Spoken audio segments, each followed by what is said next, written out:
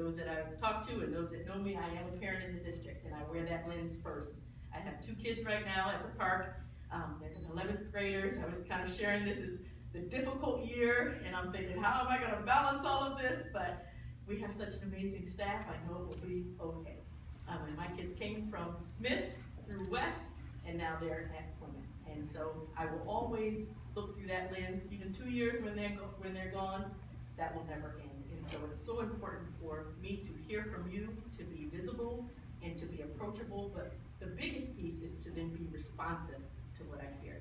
And so I know that we've asked you for surveys in the past, but the frustration is you don't always see any results from your, your feedback. And so that's something that we're working really hard to turn around, to say that every decision that we make has to be an informed decision with our staff, with our student voice, our parent voice. We have to have all of our uh, stakeholders involved. So I thank you for just taking the time to come out today. These are really informal, just kind of me giving a little bit of information about what's going on, but then giving you an opportunity to engage with me as well. I want to thank Susan that you leave me Stovey and the Public Library for just offering this venue for us today. I think it's a great place to kind of meet and greet and gather. So thank you for um, all that you do for us as a school district in this community. This is a Great. great place. Thank you.